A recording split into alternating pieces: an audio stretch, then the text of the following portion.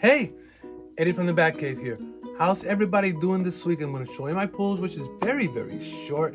And since this is short, um, I grabbed a couple stuff from the Batcave to show you guys. I found some trading cards too. Can't wait to show you. So let's get going. First off, Fantastic Four number 12, Alex, Alex Ross cover. Read this before I came on. Now, if you love dinosaurs, Jay Christopher, um, this is a story to buy. It's a two-parter. Uh, continues next month. The Fantastic Four find themselves in a different reality, okay, where the people like us look like dinosaurs, but full-size dinosaurs. So like the Avengers are the dinosaurs in that time reality. So it's a fun little book. All right, wasn't that bad of a story. Okay. New from Image. Transformers number one. I read this before it came out. It was not bad was not bad. It sounds like they're starting this from the beginning. Almost remind me from the 80s cartoon how they started. So yeah, can't wait to uh, pick up issue number two. So it wasn't a bad story. So if you're him and hawing, you're looking up in the rack, give it a try. You won't be disappointed. Artwork's a little, you know, not all there, but the story was okay. And again, this is my opinion. Storyline continue with that war between Catwoman and Batman. We find out that Vandal Savage on last issue owns Bruce Wayne Manor. So this is Batman number 138. I got the variant cover from Gabriel Dell'Otto.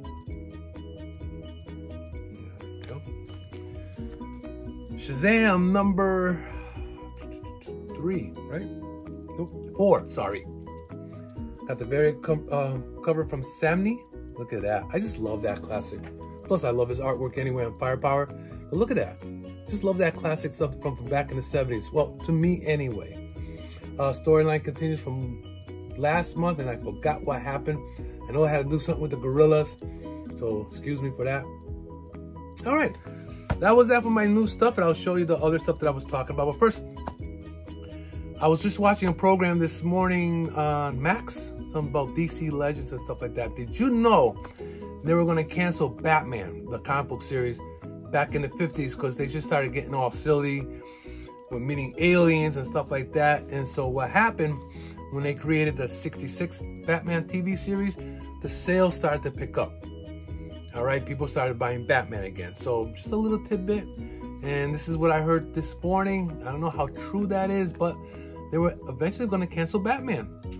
Find that hard to believe, but the, what I was reading, um, watching the TV, the the story background wasn't being creative and they were just plain silly.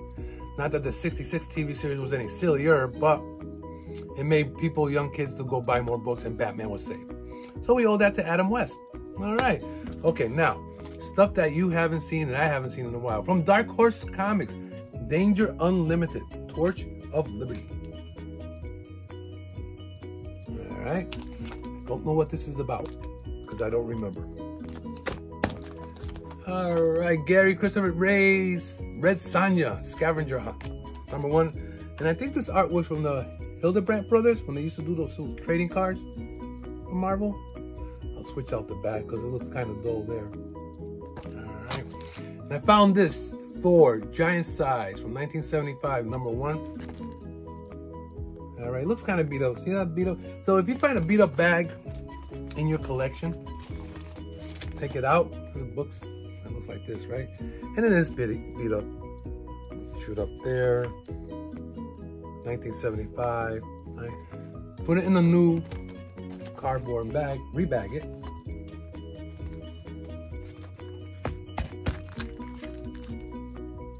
Looks a lot cleaner.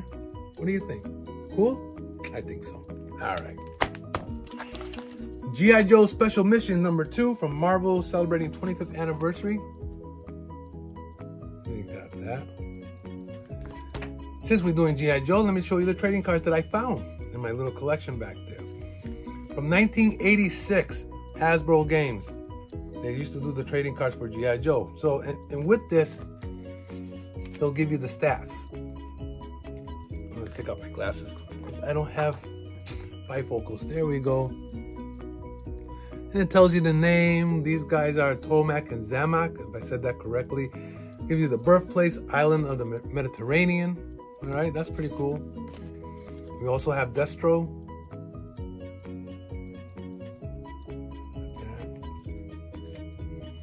What's this one? Major Blood. And it's pretty cool. I don't know how much of, of these I have.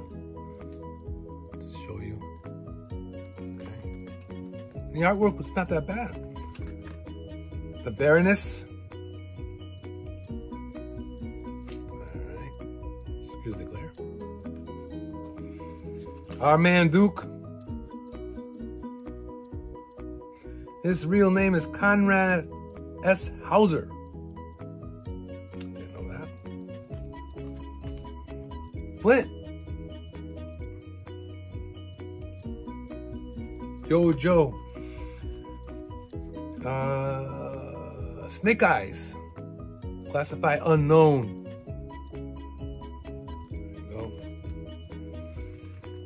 Don't remember this character. Snow Job.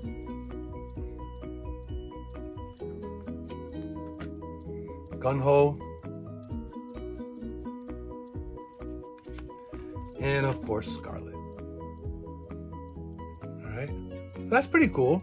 I got like another uh, another section where they had the cars or the, the vehicles, the military vehicles that they're in and stuff like that, and they explain what kind of cars they are or vehicles.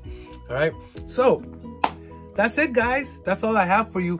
Anything you want to talk about, give me a holler. Let me know. As always, from the Batcave, this is Eddie Nieves. See ya.